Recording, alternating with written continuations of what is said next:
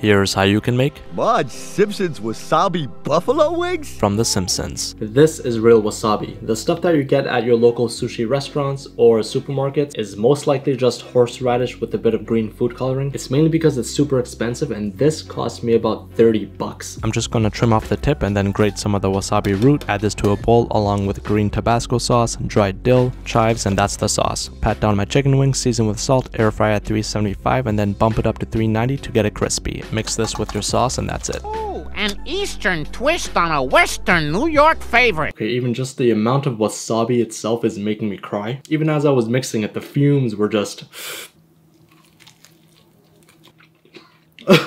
Okay, surprisingly, it's not really super spicy. Like, the flavor is actually really good. I like the green hot sauce with the dill, and the chives, and the wasabi just brings that almost spicy sour note to it. It's very unique. I think Marge is onto something here. This is probably one of the top wing sauce flavors I've ever tasted. Okay, this is solid. I'm giving this maybe a 9.1 out of 10. These wings are going straight to my thighs.